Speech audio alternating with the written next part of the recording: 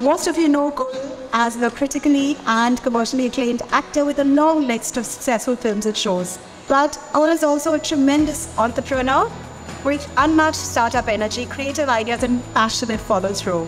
A pilot, a race car driver, activist, and someone who's constantly and consistently been one of India's foremost voices for gender parity, Gul is an inspiration. Please put your hands together in showing me and welcoming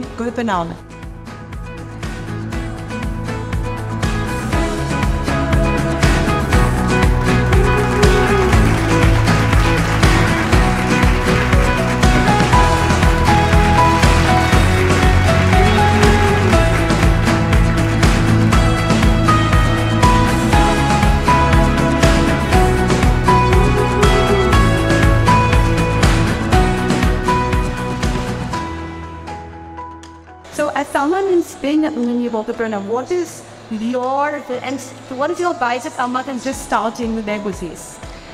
I think to have an unwavering faith uh, in yourself is really important and faith in the idea that you're putting forward because I find a lot of the um, early entrepreneurs, women and men, tend to try and oversell their idea and that in turn ends up making them look uh, perhaps over keen to the investor or the potential client. So be self assured, be confident, and know that your idea is incredible and not.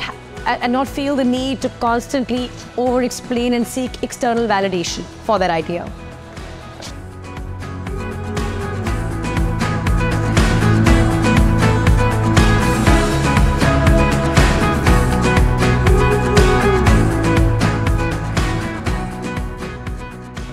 Well, I think women uh, entrepreneurs are getting a lot of uh, support from the ecosystem today.